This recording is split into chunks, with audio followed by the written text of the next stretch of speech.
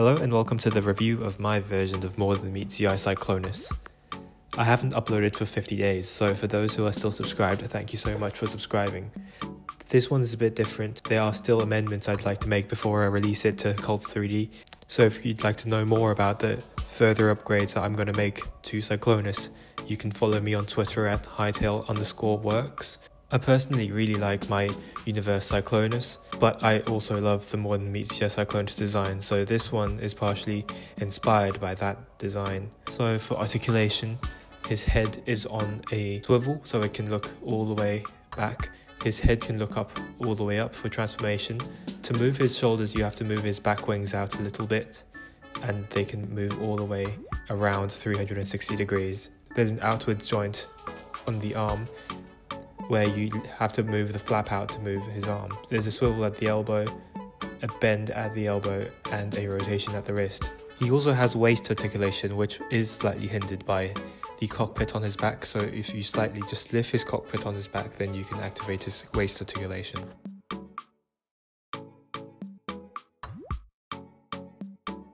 His hip skirts move. It's like a ball joint, but it's it's on a universal joint on his hip. His legs kick out a lot, and for the bend, for more bend, there's a flap at the back that you could flip out for extra extra bend. His toes move up and down, and there is a slight pivot on his toes.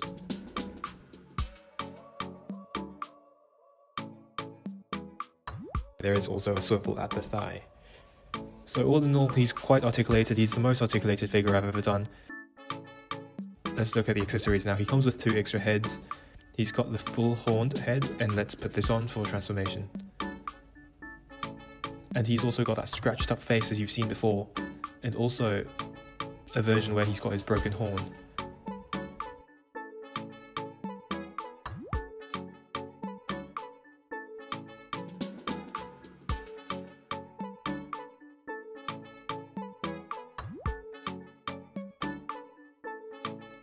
He also comes with a great For size comparison, here he is with Whirl and here he is with Tailgate.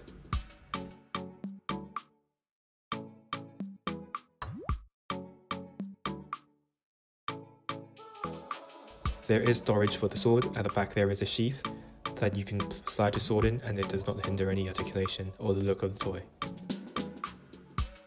Let's get into the transformation. So there are parts on this toy that might hinder transformation. So this is, there is a specific order in, in the way you transform to that Cyclonus for a very clean transformation. Um, this is this is after a few tries that I found this out myself as well. I should have known better, but this is this is what it turns out to be. So first of all, flip his back wings back. Rotate his fists and tuck them in. Close his arm panels and rotate it so the fins are facing you. Let's wait for the camera to go into focus. Uh, while, while the camera goes into focus, you rotate the arms upwards to free the path for the leg transformation. So you flip the hip skirts piece up and flip the forward piece inwards. The leg transformation is inspired by Siege Sideswipe or Siege Red Alert and it transforms exactly the same. Flip his front panel outwards and flip it upwards, completely covering the thigh and closes back up on the back. There is a round peg on the side of the knees, you could peg them in and that would secure the ultimate. When you're here, rotate the arms downwards again. There's a slot on the leg and a tab on the arm, and those two go together. Do that for the other side as well.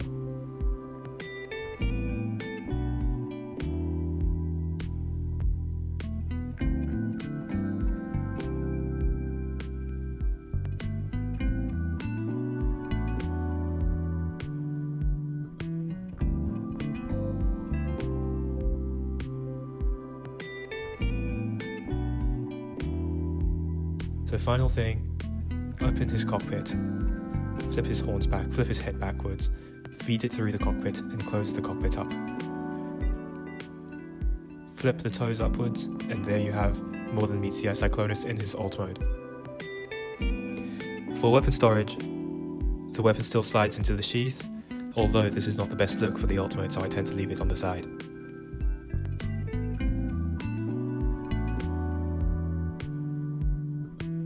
Think this cleans up pretty well. I think this is a tight transformation, but uh, but it ends up with a clean alt mode. And with a few tries after a few transformations, it slowly becomes clear and the and the transformation becomes easier and easier. It's a lot easier to transform from alt mode to robot mode as it's just it, it just unfolds. And here he is next to G1 Cyclonus. You can see that the cockpit for More Than Meets the Eye Cyclonus here is quite short. So in further revisions, I'd like to extend that cockpit, make it longer, and have it maybe collapse it in itself for a longer and more accurate cockpit. Thanks for watching my review. I hope you like it. I really enjoyed making him, and he's a very nice addition to my collection. As you can see in the pictures here, he is quite posable, and I'm very happy about that aspect. As always, please leave a like, comment, subscribe. I would really appreciate that. Please stay tuned for Tailgates review that's coming up soon. Thank you. Goodbye.